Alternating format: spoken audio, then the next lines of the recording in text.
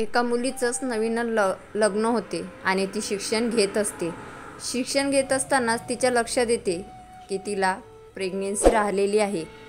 परंतु ती विचार करते जर मी आताच बाळ होऊ दिलं तर माझं एज्युकेशन कसं होणार? मी जॉब कशी करणार? आणि ती तिच्या नवऱ्याला सांगते की आपल्याला बाळ होणार आहे. तेव्हा तो ऐकतो आणि तिला म्हणतो की सध्या आपलं बाळ आणण्याची वेळ नाही. सध्या आपल्याला आयुष्यात काहीतरी करायचं आहे. बाळाचं आपण नंतर प्लॅनिंग करू.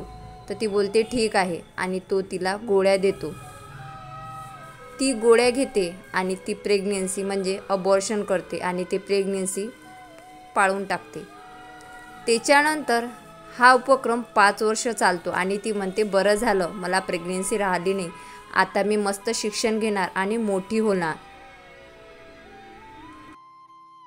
ते मुलगी मोठं हो-, मोठी होते शिक्षण घेते. आता ती विचार करते मी आई होण्यास योग्य आहे परंतु तिला तेव्हाही प्रेग्नेन्सी राहत नाही. हे याचं कारण काय आहे हे विचारण्यासाठी ती डॉक्टरकडे जाते. डॉक्टर तिला बोलतो की तुम्ही भरपूर गोळ्या घेतलेल्या आहे त्याच्यामुळे आता तुम्ही आई होणार की नाही हे निश्चित स्वरूपात सांगता येत नाही. तेव्हा ती म्हणते अरे देवा मी तू दिलेलं फळ मी नाकारलं. मी असं करायला नको होतं. आणि दोघंही नवरा बायको पश्चाताप करतात. ह्या गोष्टीवरून एकच सांगायचं आहे. शिक्षणाच्या आणि पैशाच्या आनंदात आई होणं नाकारू नका. आई हे अनमोल देणगी आहे. ते सहजासहजी कोणाला भेटत नाही.